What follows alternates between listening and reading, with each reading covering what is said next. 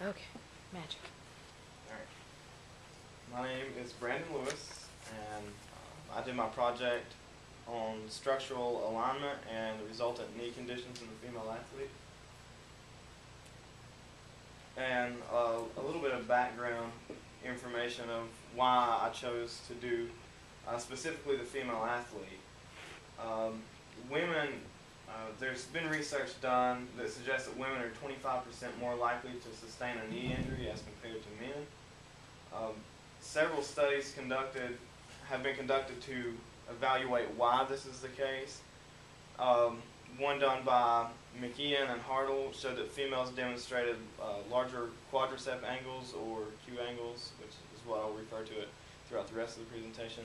Um, more genu recurvatum, greater anterior pelvic tilt, and increased femoral anteversion compared to males. Um, and then also another study showed that uh, genu recurvatum and navicular drop had the greatest impact on anterior knee laxity in females, and lower tibiofemoral angle was also a significant predictor for joint laxity. Um, I did this because after uh, spending some time working with the female soccer team here, I realized that there were several athletes that either complained of chronic uh, knee pain or would have some type of knee issues. Uh, some specific people come to mind when I think about uh, what inspired me to do this, but I got to wondering what um, what predisposes one female um, to sustain a knee injury or uh, to suffer from chronic knee conditions as compared to the same um, a female of the same basic build, weight, playing the same sport? Um, is there something structurally there that predisposes them to that, or um, is it just pure happenstance? uh, when I started looking into the research to see which direction I wanted to take with this, uh, that really narrowed down what I wanted to focus on.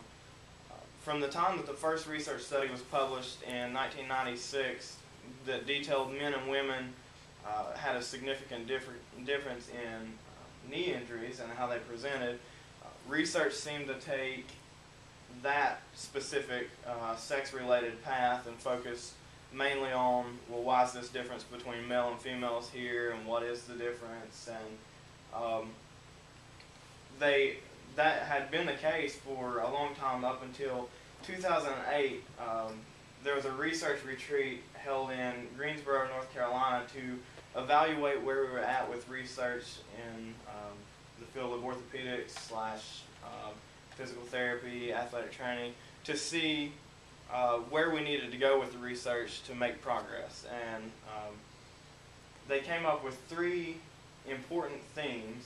Um, one theme being that there needed to be a, a clear working definition of a non-contact ACL injury uh, due to the fact that um, research had you know been skewed a little bit of what people were um, saying was non-contact versus um, what actually was non-contact. Uh, that also the the time to move um, beyond the pure descriptive sex comparison studies which had been done, uh, they said that it was critical to examine the underlying causes of the knee injury instead of, of the differences in just male and females to figure out what the problem was so that we could correct the problem or prevent it. Um, and needed a more integrated approach uh, to risk factor assessments versus the uh, continued examination of isolated factors, being whether it was muscle difference between the quadriceps and hamstrings or um, you know any any biomechanical factor that might limit that as opposed to um, what is actually affected when they're playing on the field. Uh, so the purpose of my study was to evaluate the correlation between structural alignment of specific anatomical landmarks and the incidence of uh, knee conditions in the female athlete. And I figured that I would see a direct correlation based on the research that was out there already um, of what predisposed both males and females, um, that I would see a direct correlation between specific angles in certain females being greater or less, and those being the females that suffered from some type of knee condition. My subjects for the study, I originally started out with a large subject uh, group, and because of time constraints, I limited it down to 25. And then, due to lack of participation, it got cut down further to 12, um, which is uh, seems like for this study was a, a sort of small population. Uh, it was it was composed of 10 women's soccer and two women's cross country athletes between 18 to 21 years of age. Um, and I split the variables up into independent and dependent based on their their preseason questionnaire that I administered, um, and the way they answered the questions on the questionnaire being as based on their um, previous injuries, their chronic knee pain that they felt like you know on a daily basis do they have knee pain, um, and I, I let that determine whether they were going to be the uh, independent group or the control group. Uh, um, and it basically came down to six and six. Um, six athletes had sustained um, knee injuries previous to the study, and six athletes um, had no history. So that turned out to be a, a good uh, addition to the small sample size, I guess. The materials I use, I've handmade an apparatus, um, and I base this off of what's called the digital photographic measurement method. Um, and it had been shown to have high validity and reliability, so I thought it would be you know quicker to take pictures of the athletes as opposed to measure them out each individually and then um, measure the angles compared to those pictures.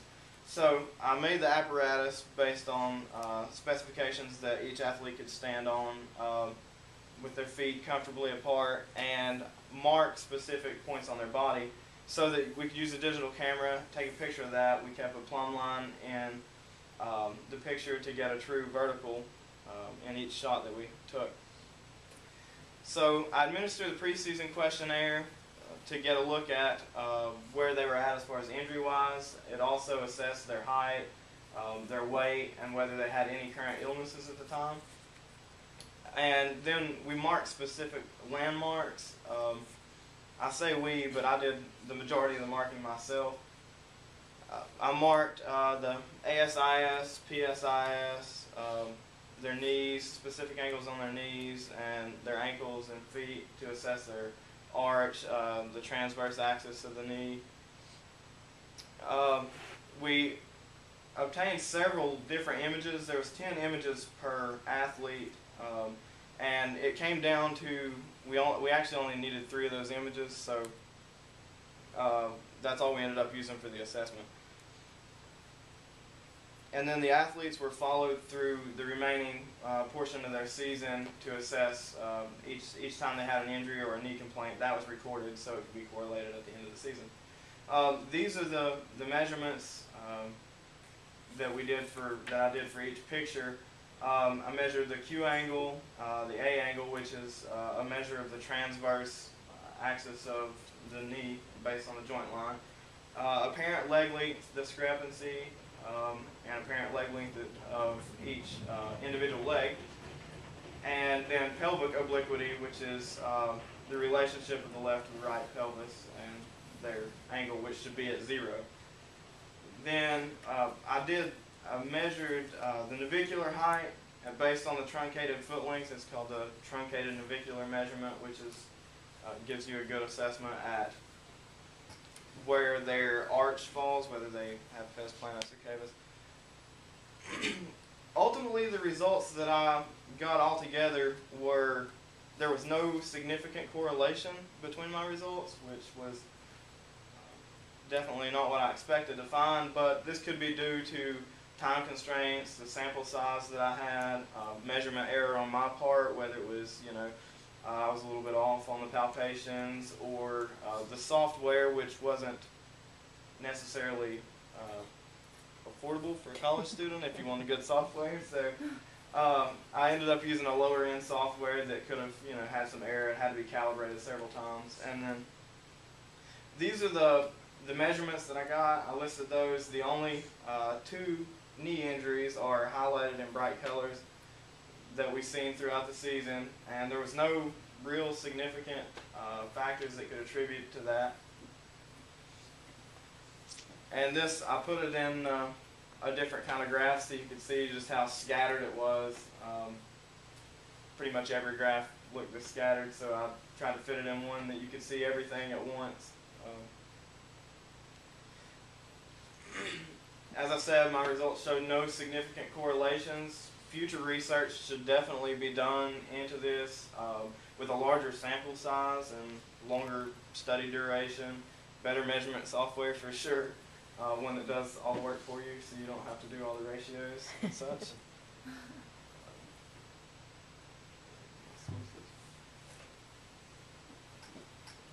Are there any questions? It's not really a question, but I think that was an excellent study, and I really do think that if you had a larger, you know, time period, maybe like a larger population, that you, I don't know if you still would have found something or not, but I definitely think that was a really good study. Are you going to appeal to get your research um, extended somewhere? I know you worked in the office that conducted research. Will you appeal to I- possibly to continue your research? I'd like to, yeah.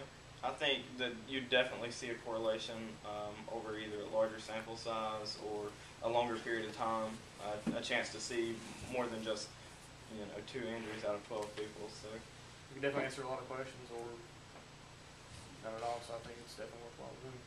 There, there's a lot of data out there, and you're right, your, um, your hypothesis is definitely correct, there's no question there's a correlation. Um, in particular, you, you're obviously, I think the biggest thing you had the problem with is just 12 12 kids, this is way too small. And what you probably would have done, if you really were to set your study right, you would have taken those, take those twelve kids, and the six that had a history of previous injury, exclude them. Don't make them controls, exclude them right off the bat. So if you take that, now you're down to six. So that's way too small a number. But there's, there's multiple data out there now that shows that there's no question there's a correlation between particular foot malalignment and knee injuries in particular, but they've narrowed it down a lot more even to ACL injuries. ACLs in, in, female athletes, obviously that's a hot topic. There's no question it's increased incidence. You know, people surmise everything from, um, obviously increased Q angle. Um, there's been a good study now that showed that obviously one of the things is, is a lot of female athletes don't have the benefits of like male athletes playing sandlot sports since they're, you know, up until, you know, several years ago, just girls just didn't have access to it. And so there's an idea that they don't have a lot of training they don't have like a little muscle training that, that guys would have to. Obviously, there's always thrown in the hormonal thing. Anything you see that has women in particular, or hormones always get thrown in there. Um, whether it's a big component or not, it's hard to say.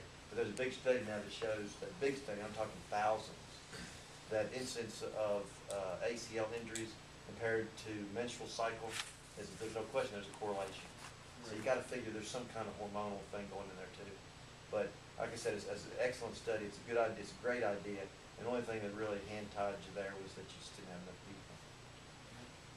Did you exclude uh, patellofemoral pain syndrome as your, uh, as a condition, knee I- condition I with athletes, or did you not consider it? um, no, I would have considered it. Uh, you know, we had some female athletes on the soccer team uh, that would probably been good candidates for that to be in the research, but uh, they just didn't show up for the uh, questionnaires and measurements or anything, so I had to throw it out.